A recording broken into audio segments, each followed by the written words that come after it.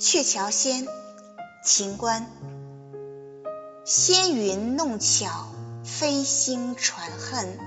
银汉迢迢暗度，金风玉露一相逢，便胜却人间无数。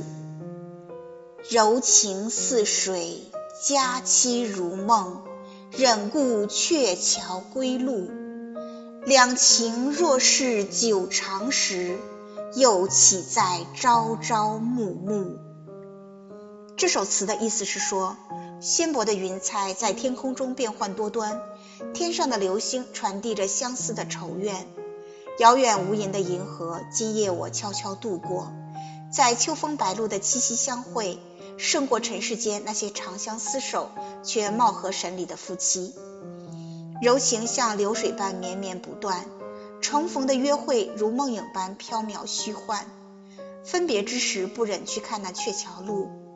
只要两情至死不渝，又何必贪求卿卿我我的朝欢暮乐呢？再读一遍《鹊桥仙》：纤云弄巧，飞星传恨，银汉迢迢暗度，金风玉露一相逢。